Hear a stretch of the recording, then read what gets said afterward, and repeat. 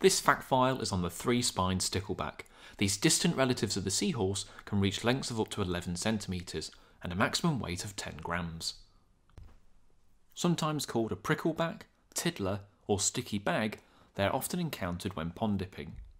The flanks of these sticklebacks are quite bony, with scutes running down them instead of scales.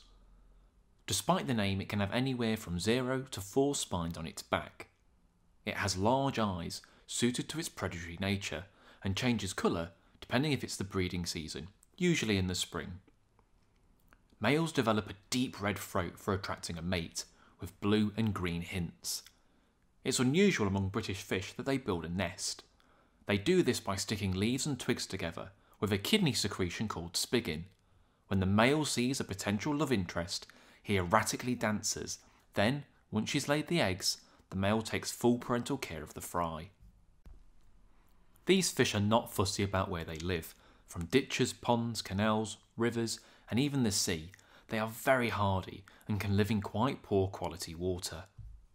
Britain has two other species, the nine-spined stickleback, which is our smallest freshwater fish, the males going jet black instead of red in the breeding season, while the largest species is the 15-spined stickleback, a totally marine fish, often found in harbours and reaching sizes of 25 centimetres.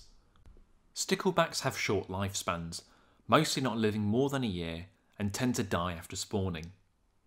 Being highly adaptive, they aren't under threat, and widespread across the British Isles, and indeed found across most of the Northern Hemisphere, in Canada, America, Japan, and Russia to name a few. Thanks for watching. Don't forget to like, share and subscribe. And why not check out our other fact files here? Until next time, cheers.